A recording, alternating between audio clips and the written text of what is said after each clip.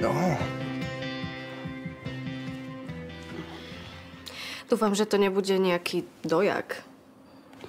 prečo? Aspoň si poplačeme. Ty a plakať pri filme? Náhodou. Ja som celkom citlivý chalan. Ale neboj sa, toto bude komédia. Môžem? Počkaj. Jurko, chcem sa ťa niečo opýtať. No.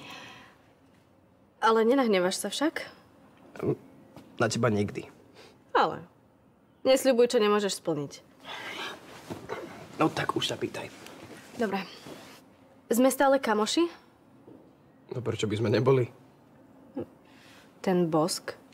Teda, bosk, ktorý sa nestal? To sme si už vysvetlili, nie? Hej, dobre, takže v pohode? Kamoši? No jasné. Super. A ty? Tiež ma berieš ako kamoša? Jasné. Hej. A, a nikdy si ma nemala rada inak? Nikdy som sa ti nepáčil ako chalan? Ale áno. Keď si mal 12 a začínal si mutovať. Áno, tak to boli naozaj veselé časy. Ale už nemutujem.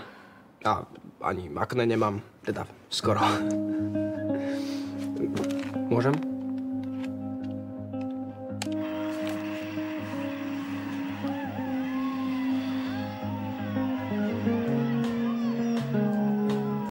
Zásneš, ja ťa zapálim, čo skrývaš, všetko odhalím, veď vieš, že ťa ľúbim, ľúbim, ľúbim.